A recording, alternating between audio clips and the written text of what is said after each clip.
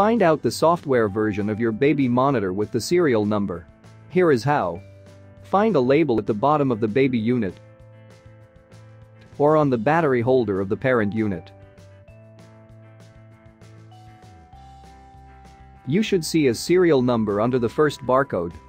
The first three letters in the serial number indicate the software version. The numbers of the first software version is 445 or 5R8. And the numbers of the second software version is 6C5 or 6E2.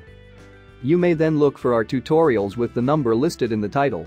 Or just watch the respective playlist here. For more helpful tips, subscribe to the VTech support channel or check out our other videos to keep watching.